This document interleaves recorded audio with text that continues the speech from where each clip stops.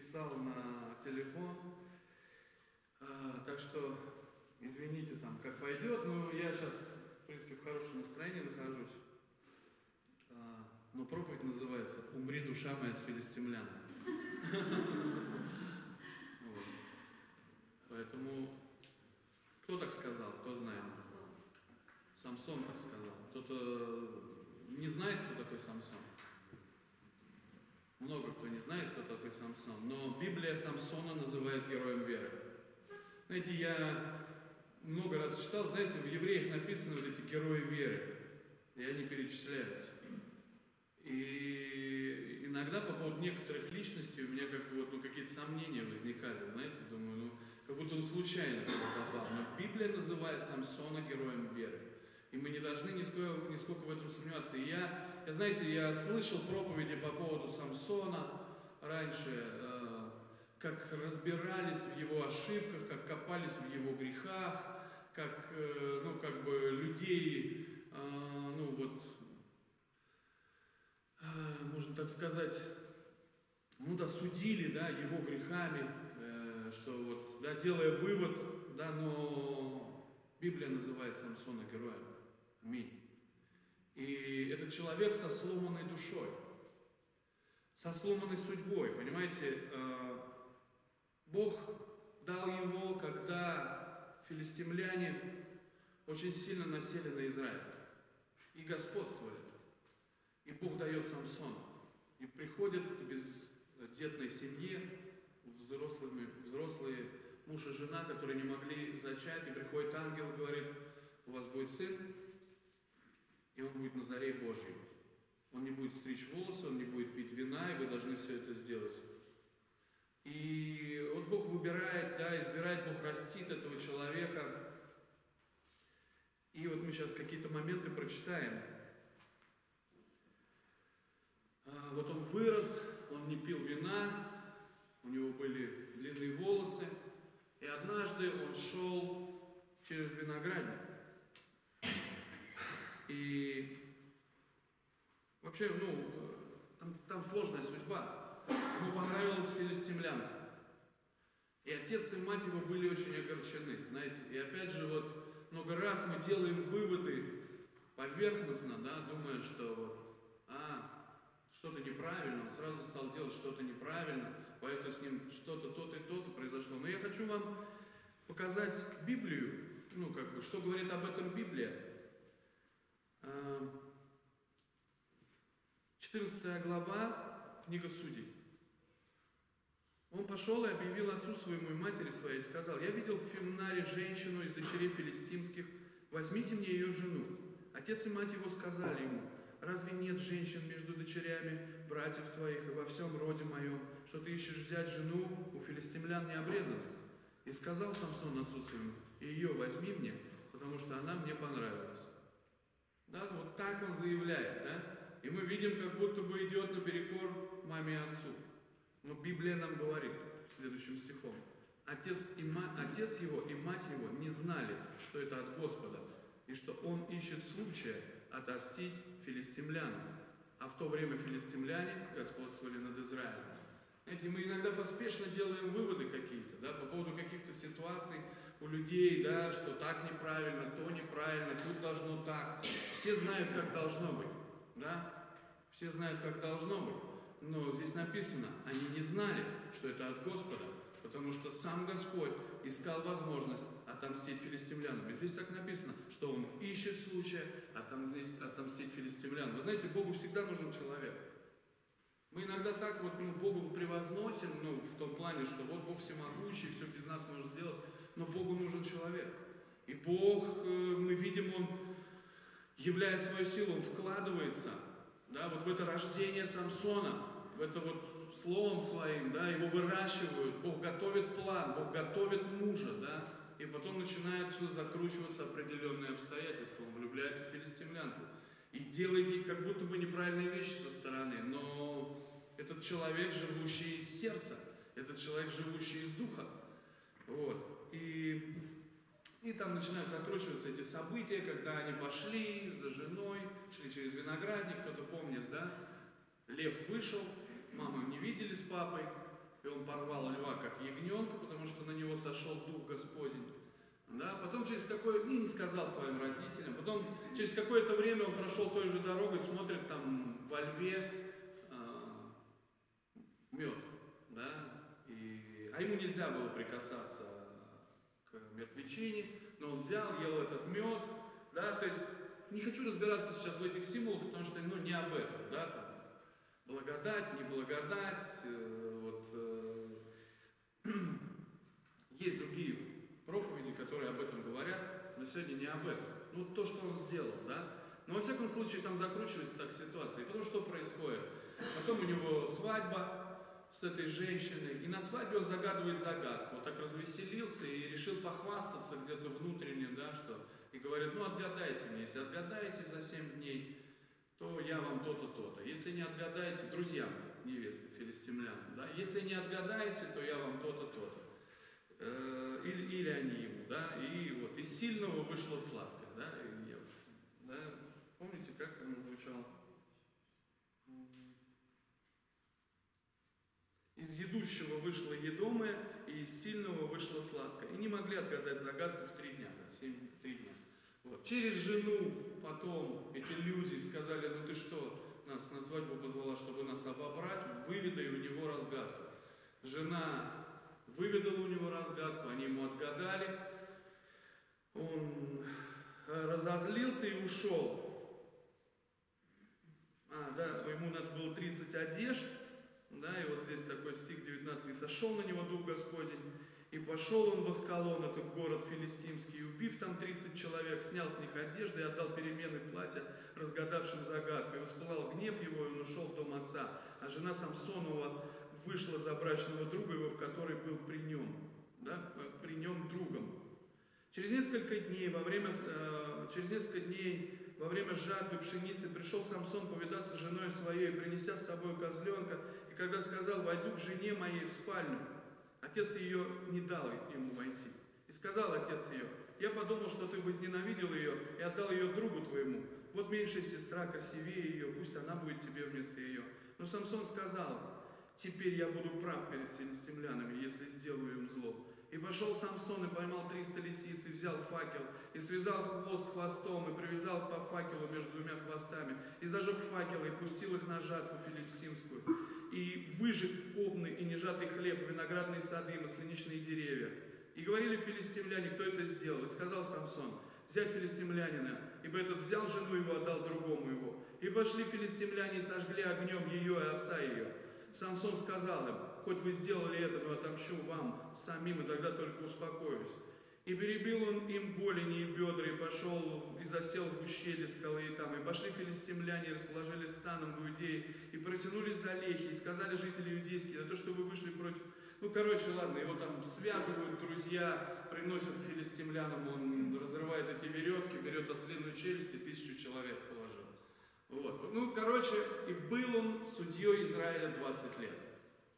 Да, и мы, и мы вот говорю, ну, иногда говорим там что-то, да, о, о Самсоне, о том, как он там тут согрешил, тут согрешил, да, но мы видим, что Бог использует человека и боль этого человека для того, чтобы включить этого человека против настоящего врага.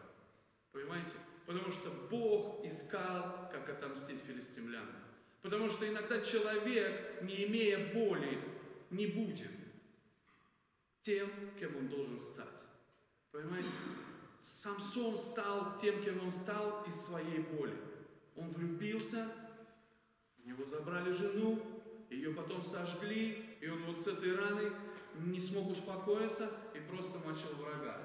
И это Ветхий Завет, мы должны это понять, да? Мы сейчас говорим не о том, чтобы там кого-то убивать, кому-то мстить, но наша брань где?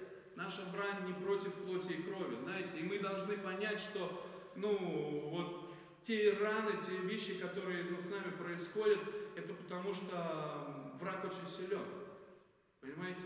И семьи наши э, иногда разрушаются, и мы теряем кого-то, да, именно из-за того, что враг очень силен. Именно из-за того, что, ну, знаете, ну, сегодняшние времена очень, да, то есть ты, я знаю человека, который борется за свою жену и всячески тоже э, хочет, чтобы у нее она пришла там в порядок, но у нее запой, да, и, и все.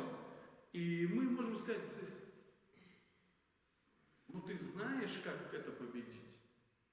У тебя есть откровение, как сокрушить этого врага? Как сделать так, чтобы этот человек стал свободен? Где, когда включится эта сила? Когда включится эта власть настоящая? Когда, через какое переживание Бог включит тебя? И вот Бог для меня включает Самсона в, эту вот, в этот гнев на филистимлян. И знаете, это, потому что христианство это не игрушечки. Знаете, это не то, что мы такие, дьявол, мы тебе запрещаем, там, мы тебе там туда запрещаем и так далее. Сидим, пищим здесь и кому-то что-то запрещаем. Понимаете, вот или Самсон там, да, льва порвал, там, еще 10 человек бы порвал, жил бы свое удовольствие, свою жизнь со своей женщиной, рассказывал бы другим, как нужно жить, но Бог его повел по-другому. Бог искал, как по-настоящему отомстить филистимлян, как включить человека. Знаете, и вот ну, действительно мы э, включаемся через боль. И никуда от этого не денешься. Знаете, мы реальную проблему начинаем видеть, когда сами сталкиваемся с реальной проблемой. Когда ничто не помогает.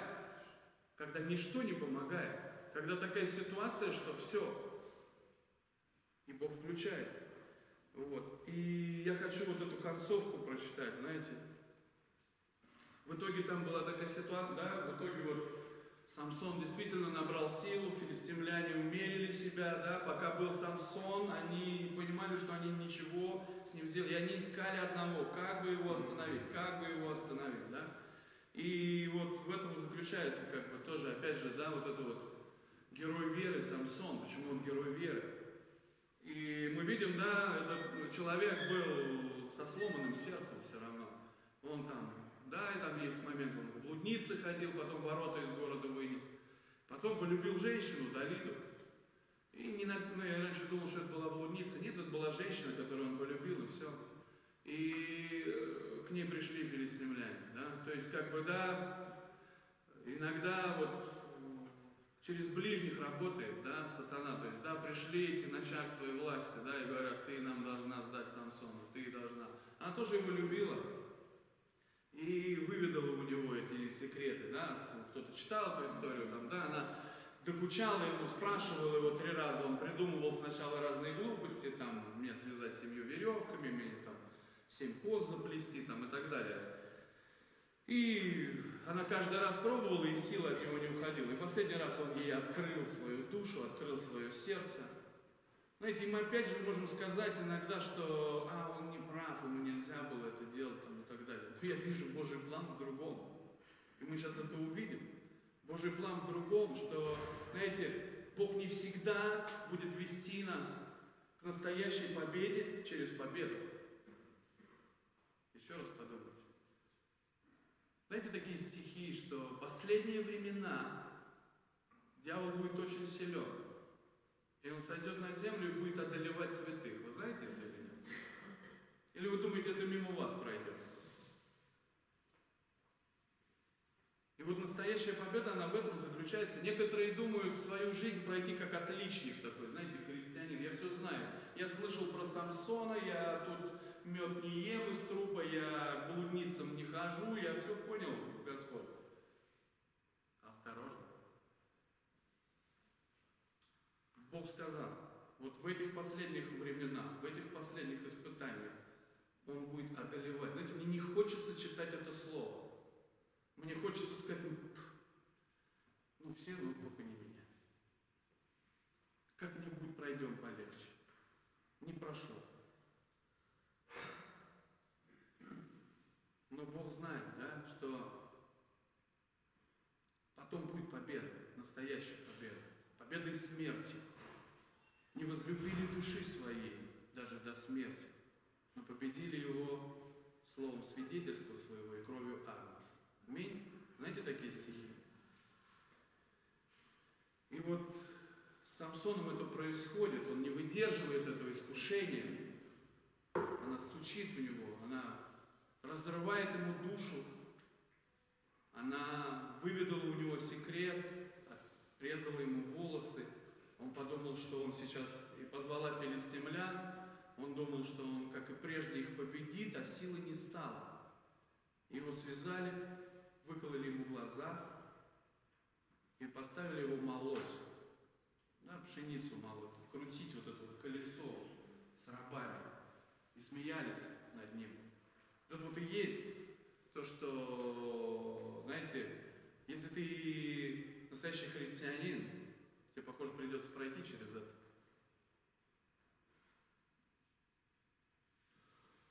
Потому что настоящая победа, она из смерти. Иисус говорит, кто душу свою сбережет в этом мире, тот потеряет ее. А кто потеряет душу свою ради меня, тот обретет ее. И это так. И по-другому никак. И вот ну, никуда мы от этого не денемся.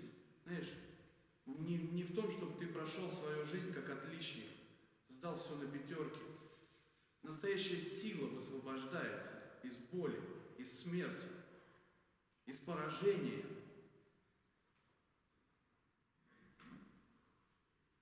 И вот такого Самсона привели как посмешище. И все, они думали, все, мы будем, все, наш, наш самый сильный враг, тот, который держал нас в страхе, который защищал христиан, он повержен. Но у Бога был другой план. И там есть, знаете, 16 э, глава, 22 стих. Ну, я напишу с 21 э, стиха. Филистимляне взяли его и выкололи ему глаза, привели его в газу и оковали его двумя медными цепями, и он молол в доме узников. Между тем, волосы на голове его начали расти, где они были острижены. Знаете, вот именно в этом, да, именно в том, когда мы достигаем дна, когда мы достигаем вот этого полного сокрушения, когда мы проигрываем, реально проигрываем. Знаете, нам хочется сказать, я буду провозглашать, я выиграю. А вот знаете, вот ситуация так складывается и бывает, и все, ты проигрываешь, и все, и не, нет ничего. Но вот Бог, Он такой, что Его милосердие обновляется каждое утро. И идут день за днем, и волосы начинают расти. И милосердие начинает обновляться. И вера начинает укрепляться. И Слово Божье приходит. Знаете, я говорил уже, по-моему, вот, Иисус проповедовал в аду.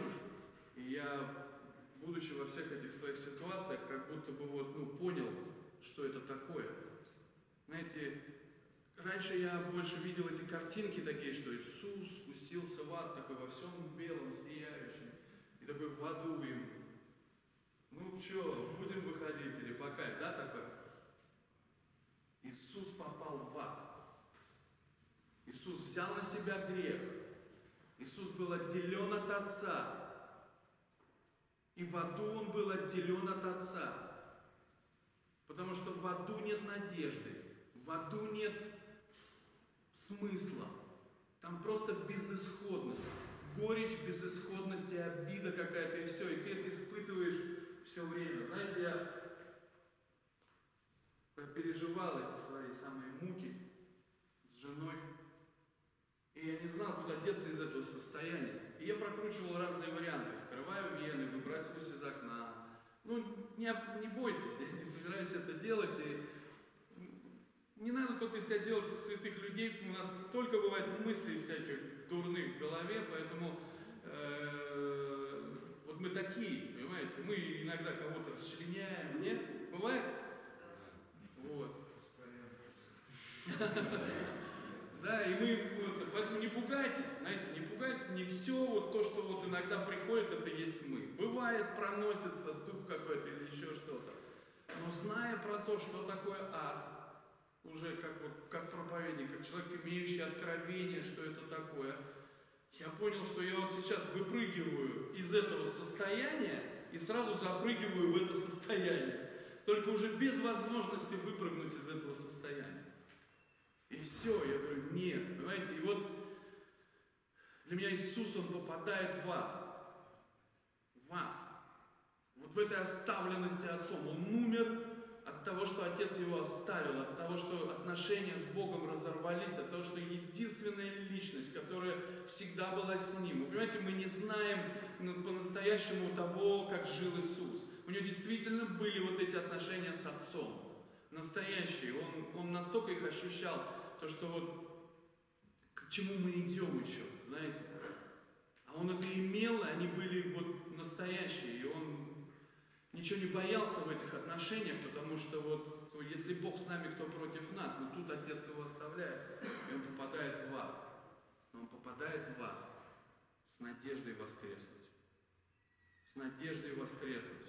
И он вот в месте, в котором нельзя верить, нельзя надеяться, он верит и надеется, что его скоро заберут.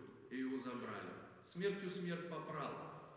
Аминь. Поэтому, и поэтому Иисус говорит, что, ну, если кто, ну, семя, если пав в землю не умрет, то оно останется одно. Знаете, вот так же и наша жизнь, так же и то, что Бог хочет ну, сделать через нас на этой земле, чтобы мы принесли плод, чтобы мы действительно доставили проблемы врагу. По-настоящему настоящие проблемы. Знаете, и вот именно в этом наше призвание – доставить проблемы врагу. Потому что Бог хочет ну, действительно повлиять. Есть очень много людей, которые живут в аду. Понимаете? Живут в аду, живут в безысходности, в бессмысленности. А мы ходим такие и думаем, там благослови, дайте за тех, за этих. Вот начали делать. Вот реально девчонку привезли, открылась она, Заботьтесь о ней. Знаете, вот не надо бомжей кормить. Пока. Из последних сил, потому что, вот, ну, потому что мы хоть бомжей кормим. Надо реально вырывать людей из ада. Потому что есть очень много людей, которые живут в аду.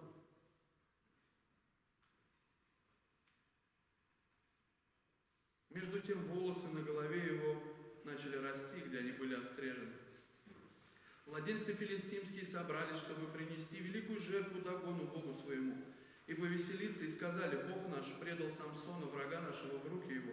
Также, ну, и вот такие вот пироги там, да. И собрали великое это, и привязали его там, да, колоннам своего храма внизу.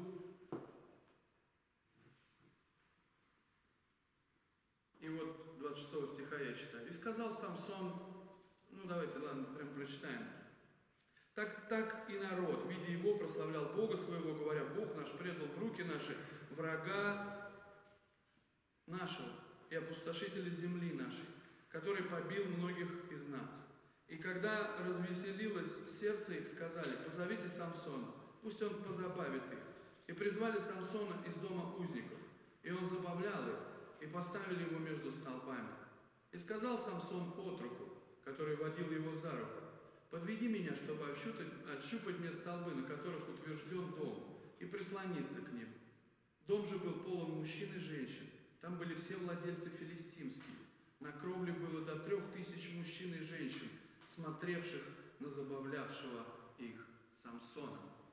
Наша брань не против плоти и крови, но против начальств, против властей, против духов злобы поднебесных. Это здесь собралось. Это здесь собралось. И много раз, ну как бы, я не знаю, много раз или нет, но действительно, вот то, что я понял, есть вещи, которые не включатся в твоей жизни без боли. И я увидел, на самом деле, знаете, я хоть это проповедую, и действительно при, пришли люди, и много людей приходили и говорят, слушай, да мы уже пережили то, что ты пережил. И они мне рассказали, и мне открылась такая картина, что оказывается вот вокруг меня вот, ну, вот уже вот эти люди, уже вот эти люди, которые готовы, которые вот, ну, действительно понимают, а я еще вот свои экзамены не сдал. Знаете, я ну, много чего проходил, но вот такого, что пришлось проходить, не проходил. Но я как бы вот Бог открывает, для чего это, знаете. И, наверное, еще будет что-то,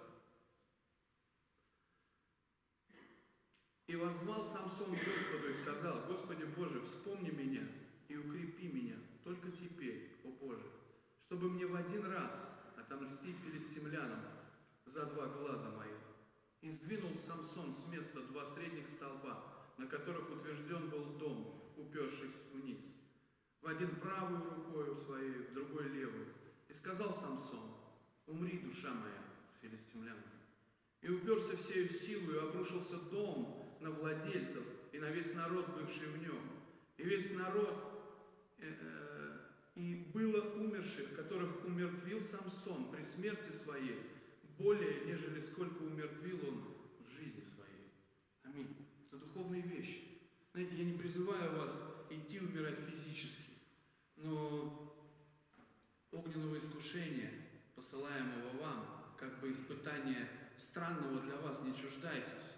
Потому что, ну вот действительно, мы действительно, проходя свои страдания, получаем то утешение, которым будем утешать других. И получаем те откровения, которые потом будут спасать других, потому что, ну, действительно, враг очень силен. Мы даже не представляем до конца, насколько силен враг и насколько нам нужно объединиться, сплотиться. Знаете, мы вот играем иногда в какие-то тут церковные э, недовольства друг друга там или еще о чем-то. Это такая вот ерунда. Но это вместо того, чтобы объединиться, вместо того, чтобы, пройдя свои вот эти моменты, э, стать командой, которая кроткие. Знаете, кроткие наследуют землю. А вы знаете, я вам говорил уже, много кому говорил, но еще раз скажу. Наследовать землю это что? Это алло, придите, вам наследство. Нет. Наследовать землю – это пойти ее и завоевать. И знаете, и не то, чтобы на земле есть какая-то земля, это то, что я понял. Это землю. Бог говорит, святые будут управлять землей. Святые, кроткие наследуют землю. Кроткие смогут ее завоевать. А знаете, кто такие кроткие? Тоже вот обожаю это место, мне Бог открыл. Однажды повел меня изучать там эти греческие слова. И там вот это слово, которое переведено нам как кроткие, знаете, для нас как кроткие, да, это кто? Правильно? Такие кроткие. А вот то слово, которое там употреблено, то, что говорит Иисус, греческое, да, потому что Новый Завет по-гречески написан. Кроткие наследуют землю. Греческий историк, еще до даже, да, Рождества Христова, который записывал, он употреблял это слово для описания чувств, возникающих между солдатами, воюющих долгое время рука об руку. Еще раз. Кроткие – это описание чувства, возникающее между солдатами, которые долгое время воюют рука об руку, которые много раз шли на смерть, которые действительно, вот вы помните, как раньше воевали, да, да и сейчас тоже, да, мы не ходили туда, не воевали, но ты не знаешь, вернешься ты сегодня или не вернешься. Ты знаешь, что жизнь других людей вокруг тебя зависит от четкости выполнения тобой поставленной задачи офицером. Потому что хаос – он всегда поражение. А четкое исполнение инструкций, даже если они иногда тебе кажутся не очень правильными, да, когда, а я думаю здесь так, а я думаю здесь так, и вот эти, да, вот, просто представьте, что такое, да, вот есть эти солдаты кроткие, там, туда-сюда, и вот офицер приходит, и среди них есть несколько молодых, и вот стоят кроткие и слушают приказ, и он говорит, сегодня идем туда, туда, с этой нападаем, и молодой, нас всех, нас всех убьют, нас всех убьют, да, вот это вот. И они ему, не, не бойся, за нами встанешь. И он проходит свой первый бой, второй бой, и становится таким же, кротким. И я говорю, что эти кроткие, они видели много. Они видели, что кто-то отписался от страха. Но они не смеялись над мы тоже так делаем. Действительно так. И он такой, да? Ну, нормально. Вот так. Вот такая должна быть церковь. Помните, как она названа, да? Невеста Христова. Грозная, как полки со знаменами. Вот это и есть кроткие, которые наследуют землю. А иначе все остальное это просто наше пищим, играем. Столько людей играют. Но у Бога есть план. И я верю, что это вот это время началось. И то, что ну, происходило и будет происходить, я не знаю, как Бог все проведет и в моей ситуации дальше, но хочется, чтобы все было хорошо. Но не всегда будет все хорошо. Не всегда будет все хорошо. И это факт. Хочу еще одну вам историю рассказать уже про себя, хулиганскую немножко. Но для того, чтобы понять тоже. Хоккей, вот, поэтому женщины сильно там, меня не судите, но мужики иногда деремся там, вот, и делаем. И для нас это нормально, и как бы в хоккее это тоже иногда там, приветствуется. И, и я вот помню последние годы, моего хоккейного такого моей жизни, где-то я с 11 там, по 17 год я плотно поиграл, и тут это был бум. Я с детства был хоккеистом, потом это было похоронено в моей жизни, а потом Бог мне это дал, и я был так счастлив.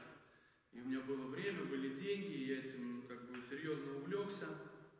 И мы стали командой, которая всем задницу играла, знаете, в городе, вот в любительском вот этой вот лиге. Мы не были сильнее всех, но вот несколько сезонов мы забрали первое место, как раз когда это было, ну вот когда это был этот бум, когда это было действительно важно. Сейчас там уже много дивизионов, все разбились там туда-сюда, тогда был вот один дивизион и все. И все ненавидели команду Чайка.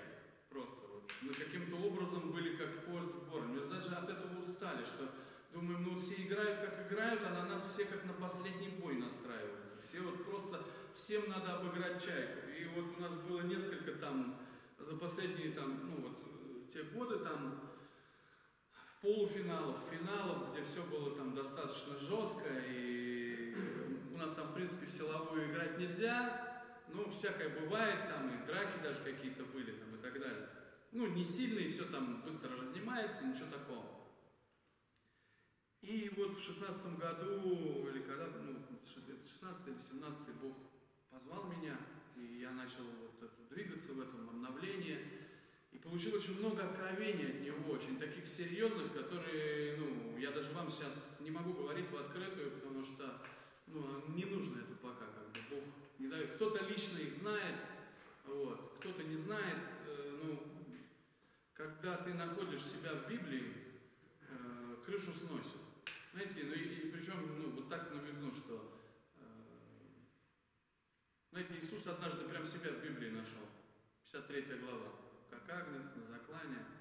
И вот, понимаете, вот именно себя, не кого-то, не образ, не так же. Это был он. И Мария однажды нашла себя в Библии. Все девы в чреве родит. Знаете, все женщины Израиля думали, что это что-то, какой-то образ, но была одна конкретная Мария. И вот представьте мне, однажды Бог какой-то, ну, одно есть одно место, где он мне указал, мне было очень трудно это принять, но пока вот ну, все так. И про последнее время, да, не то, что там прям один я, но именно про то, что мы делаем, и про откровение сынов Божьих. Вот. И, я вот говорю, когда ты это получаешь, сносит крышу чуть-чуть. Ты э, ходишь с Богом, ставишь там всякие знамения, ищешь подтверждения. Знаете, Бог Гедеону тоже однажды сказал, вот все, иди, ты победишь медианитян. Забрал у него 20 тысяч, 20, сколько там, да, 29 тысяч 700 человек. Забрал у него из 30 тысяч, оставил ему 300 человек, да, и говорит, ты победишь. Ну, слово есть, и все. Есть слово, нету логики, но слово есть. И Гидеон ставит знамение, да?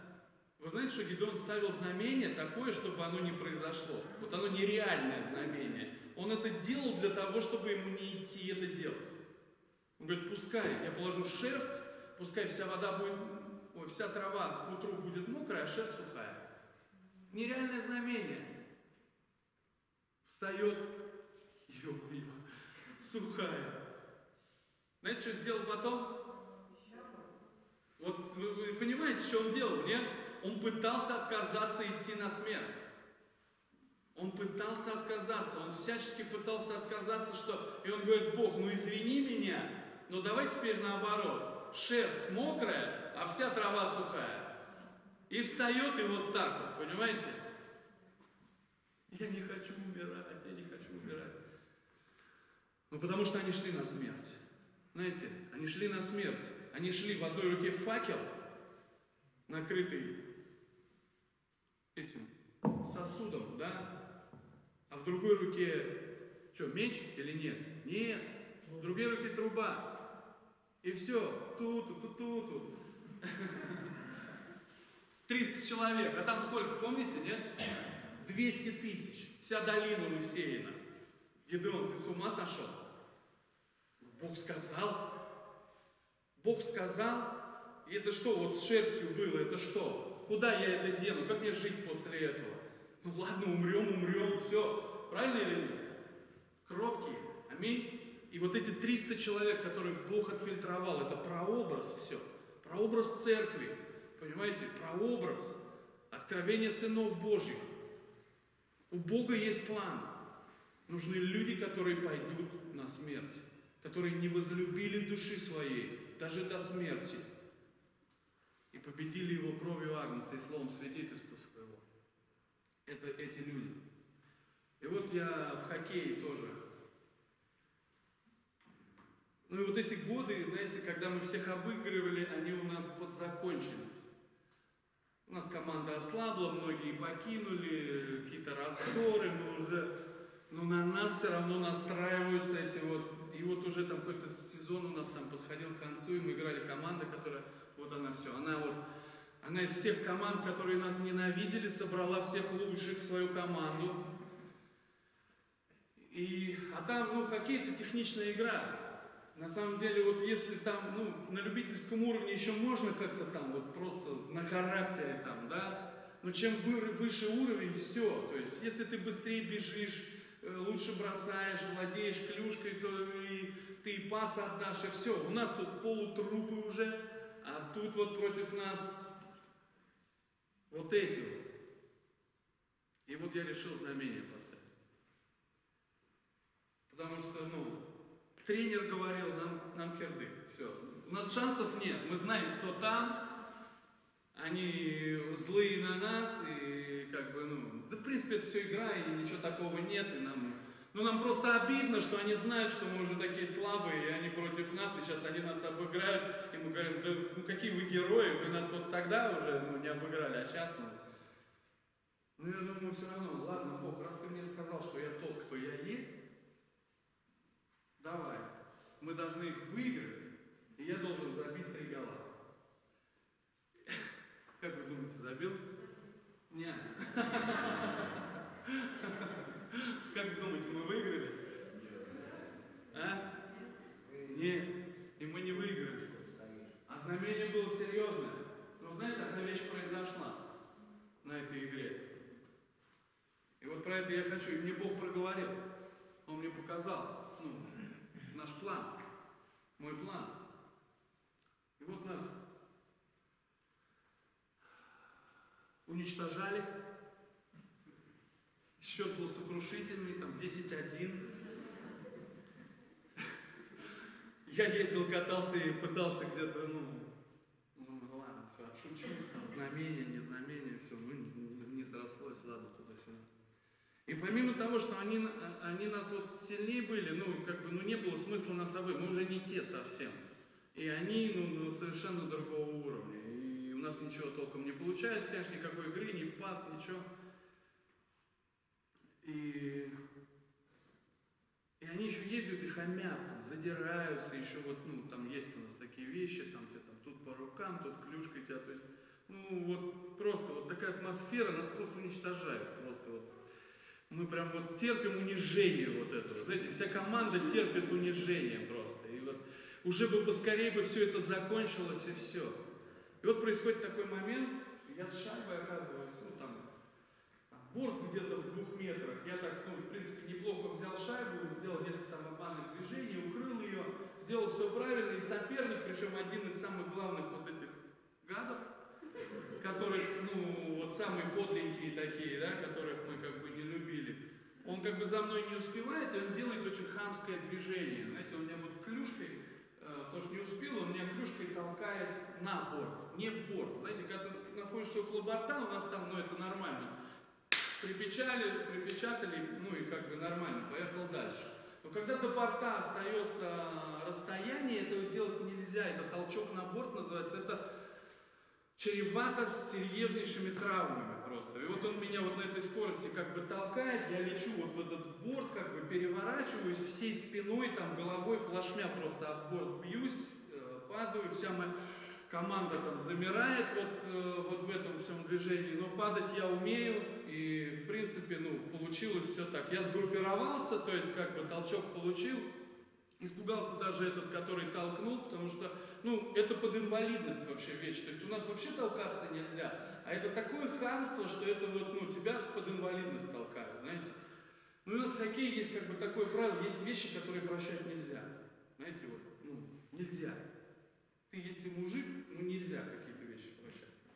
И вот я как бы понял, что произошло, поднимаюсь, медленно он стоит, а в хоккей драться очень тяжело, знаете, вот э, тебя сразу за, за майку тут сразу прибежали, то есть даже не размахнешься, ты там шлем, эти перчатки там и так далее. И вот я пока медленно поднимаюсь, я понимаю так вот, глянул на него, я понимаю, что у меня есть только возможность на один удар. Знаете?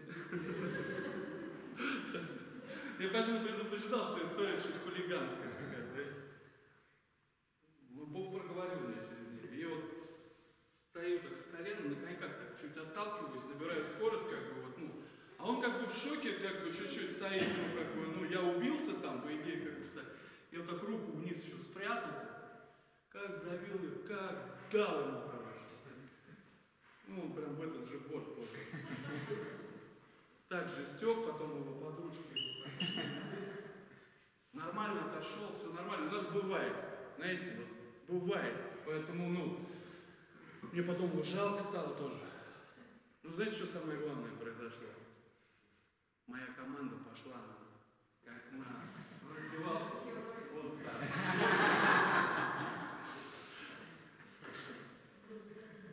Поняли, к чему сегодня, нет? Иногда нужно нанести всего лишь один удар. Это то, что мы видим у Самсона. Знаете, иногда мы не победим. Знаете, мы, мы можем не обольщаться. Но мы должны думать о том, как нанести удар. Что мы конкретное можем делать, что мы конкретное можем сделать, знаете. Чтобы вот, ну, из этой боли, для того, чтобы вот, ну, по-настоящему сокрушить врага. Понимаете, я вот, ну, вот, для меня это это, знаете, я не знаю, что мы будем, как мы будем, куда мы будем, но Бог дал мне знамение. Знаете, я хотел победить, я хотел забить три гола для того, чтобы вот, но Бог мне показал другое, потому что я помню, когда я вспомнил это, потому что когда за меня этот Хвалов молился, дедушка, кто помнит, когда все началось, до 16 года, там было сказано несколько вещей. Стань, хватит стоять в стороне, и потом он говорит, ты молотила, ты кувалда, там, которая будет сокрушать твердыни там, и так далее. И ну вот э, иногда сокрушать твердыни приходится из того, что тебе при, придется терпеть поражение. Поэтому это то, что я вам сегодня хотел передать. Я хочу еще прочитать несколько стихов, которые об этом нам говорят.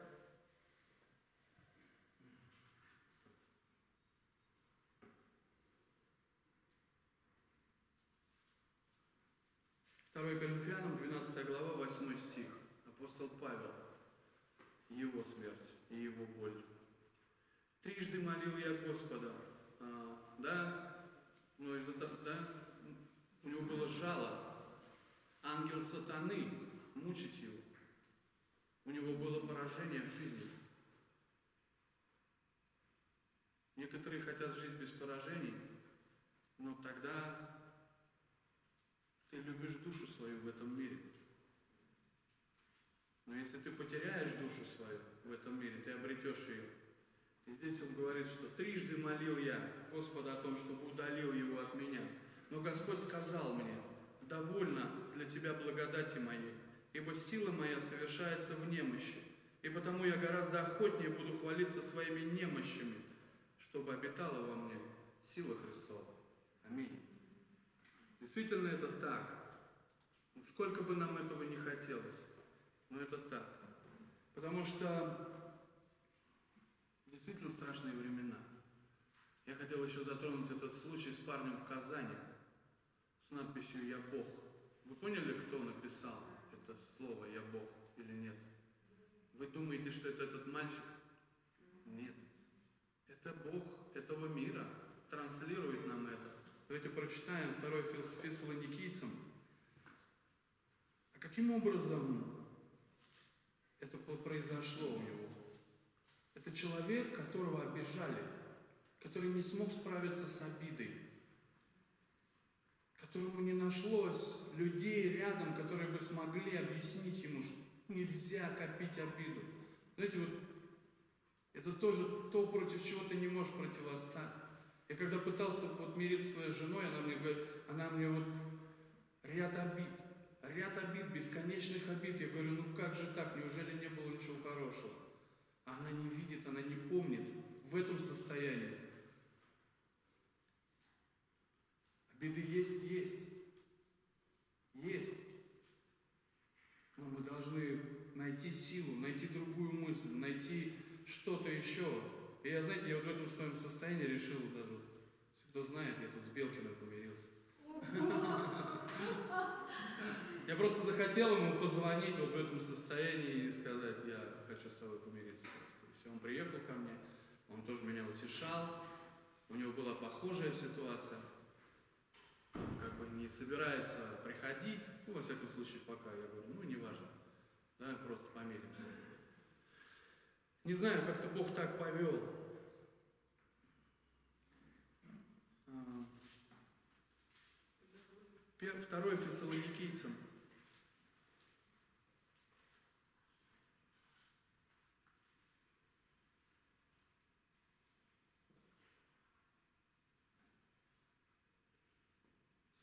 Третий стих, вторая глава. Да не обольстит вас никто, а, никто никак, ибо день тот не придет, доколе не придет прежде отступления, и откроется человек греха, сын погибели, противящийся и превозносящийся, выше всего называемого Богом или святынью, так что в храме Божьем сядет он как Бог, выдавая себя за Бога. Не помните ли я, что еще находясь у вас, говорил вам это? И ныне вы знаете, что не допускает открыться ему в свое время. Ибо тайна, тайна беззакония уже в действии, только не совершится до тех пор, пока не будет взят от среды, удерживающей теперь. И тогда откроется беззаконник, которого Господь Иисус убьет духом уст своих и истребит явлением пришествия своего. Того, которого пришествие по действию сатаны будет со всякой силой и знамениями и чудесами ложными, и со всяким неправедным обольщением погибающих, за то, что они не приняли любви истины для спасения своего. И за сие пошлет им Бог действие заблуждения, так что они будут верить лжи, да будут осуждены все неверовавшие истине, но возлюбившие неправду. Мы же всегда должны благодарить Бога за вас, возлюбленные Господом братья, что Бог от начала через освящение Духа и веру истины избрал вас к спасению, которому и призвал вас благовестием нашим для достижения славы Господа нашего Иисуса Христа. Аминь. Знаете, вот, ну, действительно, страшные вещи будут происходить. Еще хочу прочитать Откровение, 12 глава.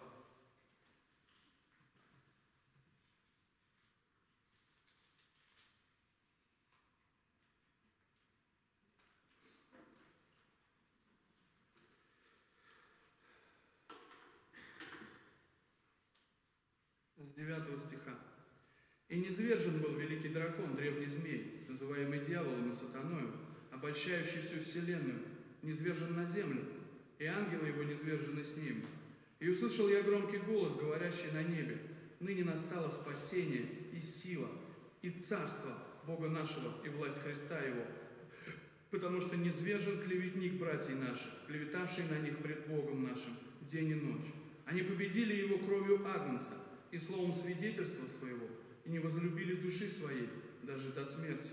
Итак, веселитесь небеса, обитающие на них, горе живущим на земле и на море, потому что к вам сошел дьявол в сильной ярости, зная, что немного ему остается времени. Я считаю, что это время сейчас. Посмотрим.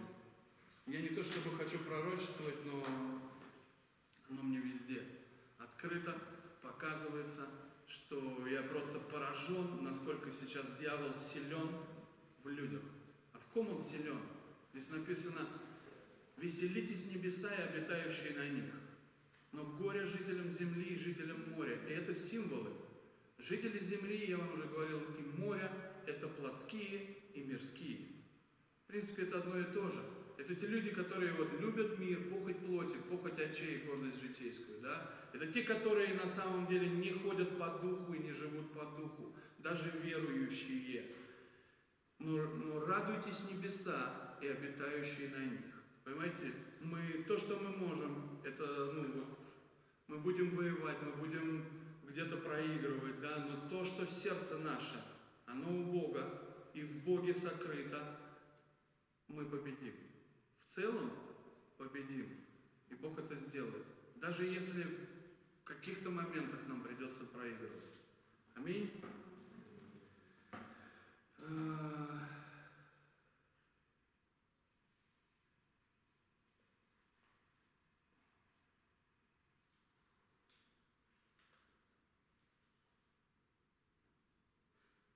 Поэтому, ну, еще раз, то, что, знаете, не надо обольщаться тем, что мы, может быть, победим, и все будет хорошо сразу. И...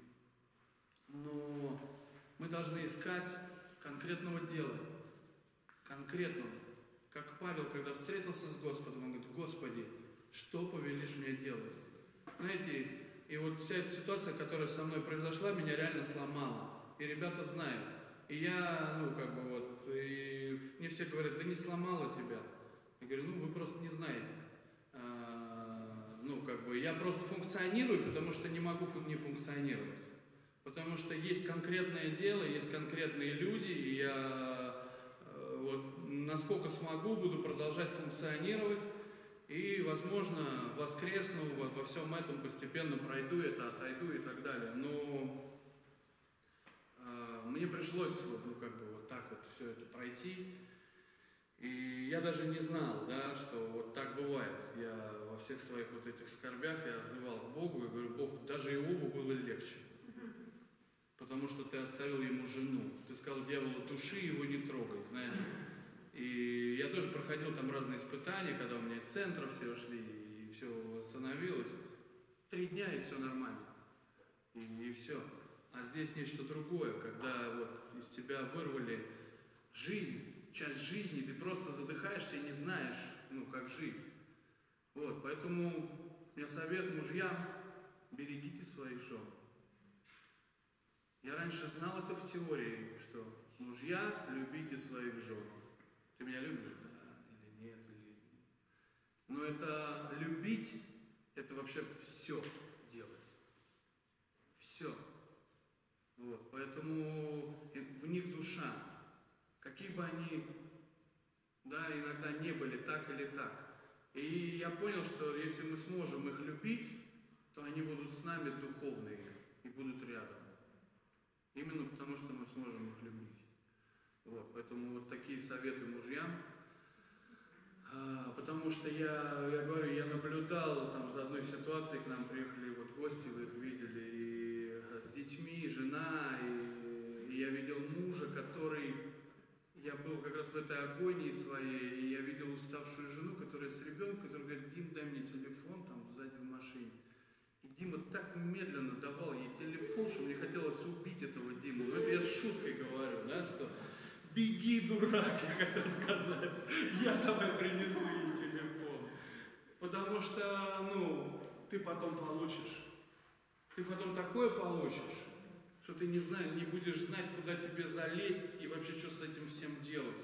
Когда вот эти обиды и вот это вот твое промедление здесь или там, вот потом получилось, что он просил его открыть машину, Дима, открой меня издалека, и он там так поделал, и даже не узнал, открыл или нет. А я стою, переживаю, открыл ты машину или нет. И мы болтали, я говорю, ты машину я открыл, я пошел смотреть. И я говорю, Дим, ты не открыл ей машину.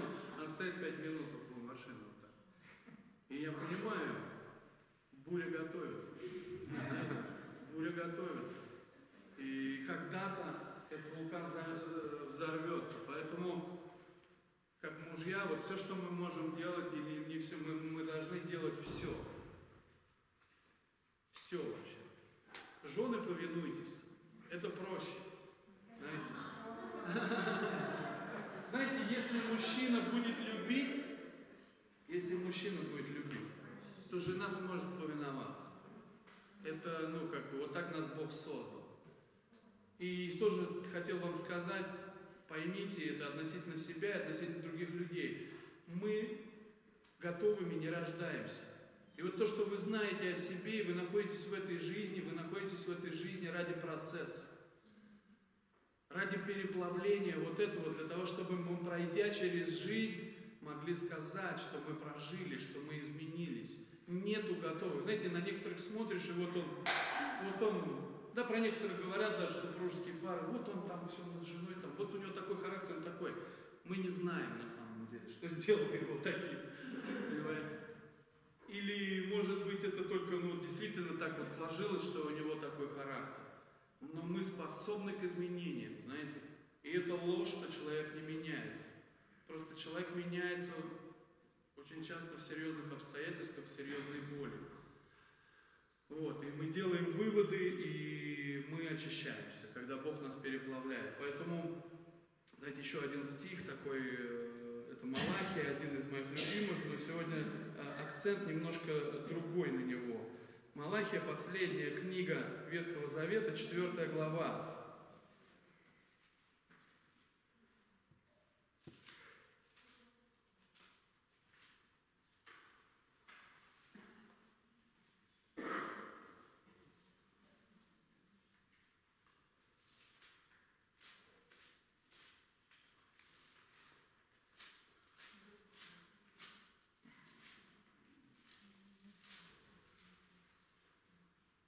Четвертая глава, первый стих. Ибо вот придет день, пылающий, как печь. И вот это я и хотел сказать. Знаете, этот день придет. И этот день действительно будет пылающий, как печь. И, знаете, никто не избежит. Но только духовные и верные, и любящие Бога, они будут переплавлены в этом горниле испытаний. И они выйдут оттуда, как Сидрах Месаха Абденава славе. А, над, а, а тогда все надменные и поступающие нечестиво будут как солома. И попали ты в грядущий день, говорит Господь Саваоф, так что не оставит у них ни корня, ни ветвей. А для вас, благоговеющие пред именем моим, взойдет солнце правды и исцеление в лучах его, и вы выйдете и взыграете, как тельцы упитанные, и будете попирать нечестивых, ибо они будут прахом под стопами ног ваших в тот день, который я соделаю, говорит Господь Саваоф. Давайте встанем, будем молиться.